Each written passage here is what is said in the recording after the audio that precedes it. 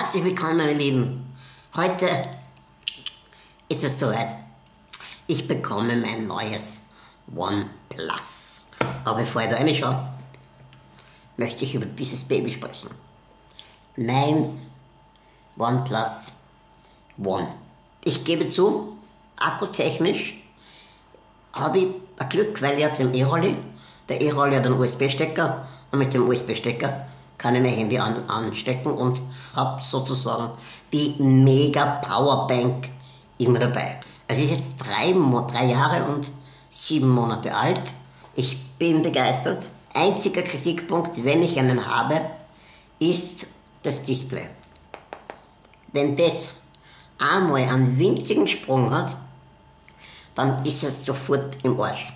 Also, das ist ein riesiger Minuspunkt in meinen Augen, dass das Display beim kleinsten Knacks schon nicht mehr zu gebrauchen ist. Wenn es für einen Akku nicht wäre und die Specs von dem neuen nicht so vielversprechend wären, würde ich eh noch nicht wechseln.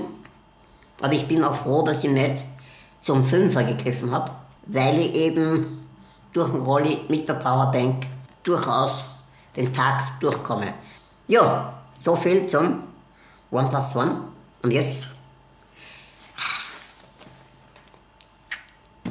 schauen wir da rein. So, wo geht's auf? Und hier ist es schon. Zettelchen. Ah, Packaging List. So, hier, ich nehme nicht an, dass das das OnePlus One ist. Das war ein bisschen dünn. Schauen wir mal rein. Ah, Panzerglas. Geil aus. Und Leute, das ist echt. Boah, wenn das noch oben drauf kommt, das ist wirklich sehr, sehr dick. Das ist echt einmal ein richtig geiles Teil. So, hier ist die Gebrauchsanweisung, wie man dieses Glas anbringt. Ich werde darüber vielleicht noch ein eigenes Video machen. Und wichtig, es gibt ein eigenes Brillenputztuch, sage ich jetzt einmal.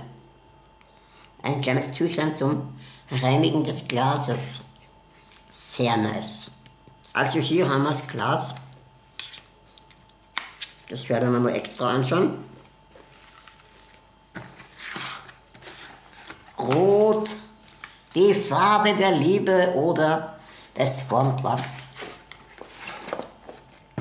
Hier sind wir eingeschweißt. Bis es geklärt. Schauen wir mal, ob wir da reinkommen. Yes.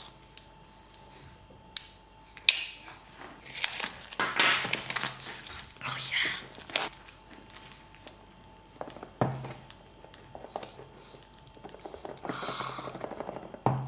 Wir schüttelt's vorsichtig raus.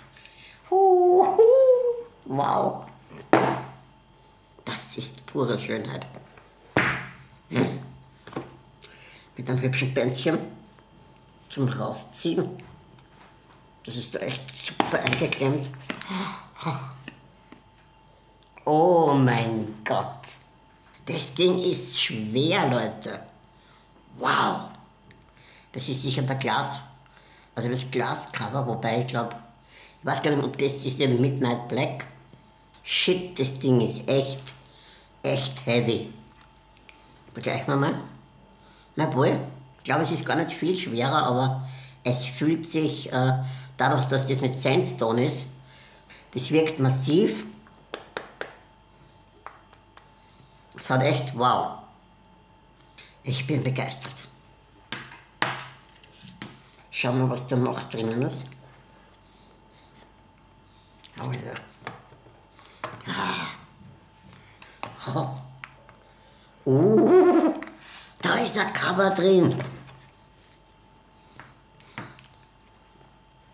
Eine Gummihülle für das Handy.